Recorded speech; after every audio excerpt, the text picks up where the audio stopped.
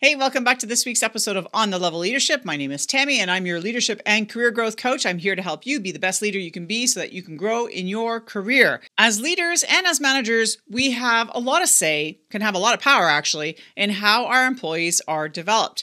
And you can do it in two ways you can either coach or you can mentor them. So this week, I want to explore those two pieces.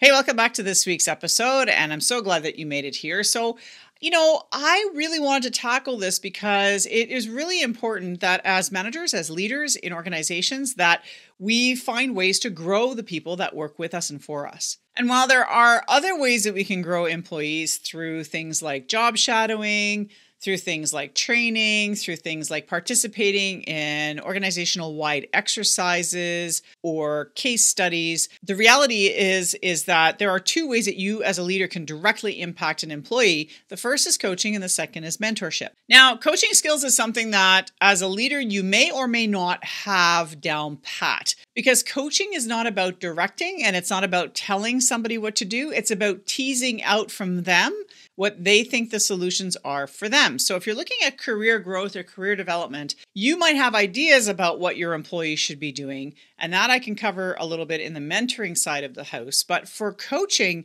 you want to do things like ask open ended questions. So, when you're doing a performance review of your employee, for example, one thing I used to do is I used to ask questions, things like, What do you think you do well? What do you think you could imp- areas you could improve on? What do you think you could do more of? What could you do less of? These are really important questions because they're fairly open ended and it allows the employee to really reflect on well, what do I do well? What could I do better? What could I show up more for? So that they can sort of tease that out of themselves. This is really important and key because you want the employee to have buy in to whatever action is going to come out of this conversation you're having with them. Coaching is about active listening. So that is about asking the open ended questioning and then shutting the hell up and letting the person talk. And when they say, I, I think I could do this, you should be asking questions like, well, what more could you do? What else is there? You know, such as, these are the kinds of questions you want to ask so that you can dive deeper with the employee as to the kinds of things that they can do and explore the full gamut of options of what they can do, how they can behave, the choices they can make, the training they might consider, all of that. That needs to come from inside because, again, you're going to get more buy in from the employee if they themselves have identified it. I don't know about you, but when somebody tells me something to do, if something tells me to do something, they're wrong, I'm right, I don't want to do it. Plain and simple. But if I say I think I need to do something, then it's my idea and I'm taking ownership of it and I'm not being told to do it. I'm agreeing to do it right off the bat by saying that I want to do these things. So the buy in really shifts completely in that conversation. So if you if you found in the past that you were getting a lot of resistance from your employees when you were providing uh, performance suggestions in terms of what they can do, then try the coaching piece. Try asking open ended questions and see what they come up with. Because ultimately, if they've said it, then they're right. If you've said it, then you're wrong. You want to turn this around and ensure that you get the buy in. So, coach them, ask open ended questions, and then actively listen. You can also, coaching is all about asking powerful questions. So it's about challenging their thought processes, it's about challenging their roadblocks. So if they say, I can't do this because, challenge it. Ask them what makes them think they can't push beyond that. What makes you think you can't do this? Really raise the self awareness around what their skills are. Ask them questions like, What do you think your strengths are? If I asked your team members what your strengths are, what would they say? The whole point of coaching is about raising self awareness, it's about helping them problem solve their own issues. And it's about providing the support and the space, giving them the space to really have that conversation with you and to think things through. Because as I was just discussing with a client today, or potential client today, when we don't have the space to think, we don't have the time to really mull these things over. And so we get kind of mired in the day to day operational requirements or strategic objectives. We don't really think about the next steps or what's logical for us in terms of our personal growth, professional growth, or in terms of our career progression. There's also the coaching piece is also about accountability. When I coach a client, my job is not to do the work for them. In fact, if a coach is doing more work than the client, then you're not serving the client, period. So, my job as a coach is to hold you accountable. So, when you say to me, I would like to do this and I'm going to do this by a certain time frame, my my job as a coach is to say, so that thing you committed to, how's that going? Have you managed to get through it? What kinds of obstacles came up for you? How did you manage them? What helped you move through those obstacles? How did you overcome these issues? What success did you get? How did you feel with that success? How did that feel to get this thing done?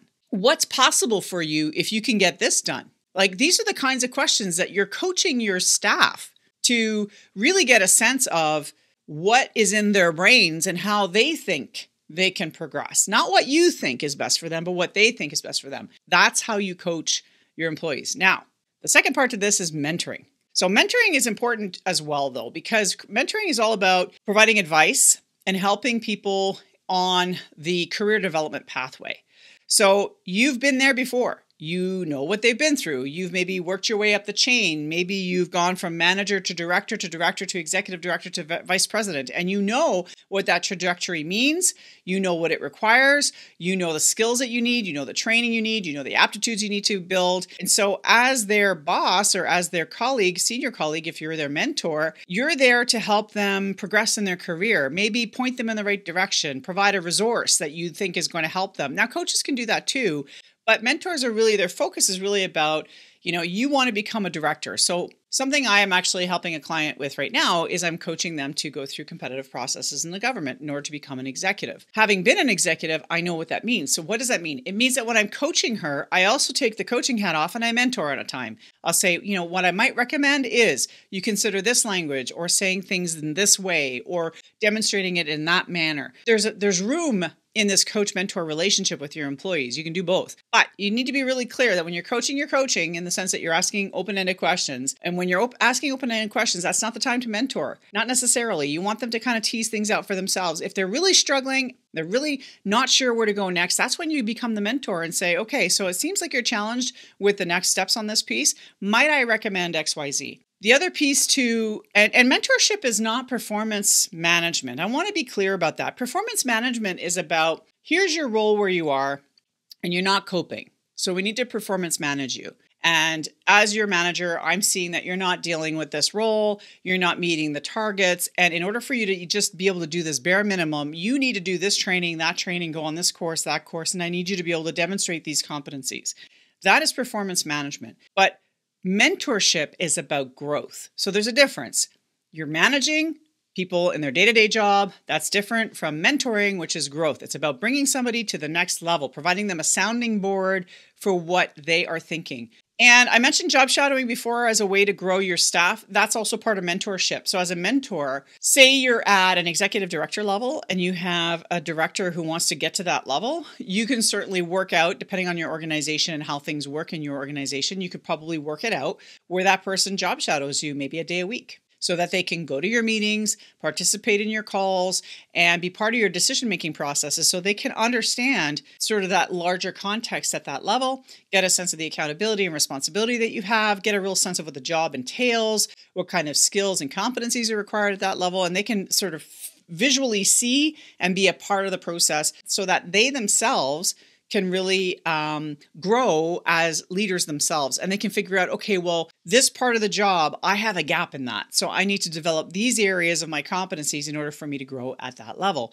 So again you can sponsor the growth of an employee by having them job shadow you. It may not be every week it might be every other week but if there is room for that in your organization i would highly recommend it so that's it for this week's video. Short, sweet, to the point. You can develop employees as a manager and as a leader. It's really simple. You can either coach them or you can mentor them. And there are a variety of ways and a variety of questions and a variety of skills that you can really learn and take on to help you with that. So if you are looking for a coach yourself, you want to grow, you want to build your own capacity as a leader, and maybe you don't want to work with somebody internal to your organization, that's fair. You can certainly call me. Uh, there's a calendar link down below. Click on that, book some time in my calendar, and I will let you know if I can help you out or not. If you got anything out of this video on YouTube, make sure you give it a like and subscribe to this channel and or you can follow this podcast for more weekly information on leadership and or career growth type of topics because that's what I cover. Anyway, thanks for being here this week. I do appreciate you taking the time. Until next week,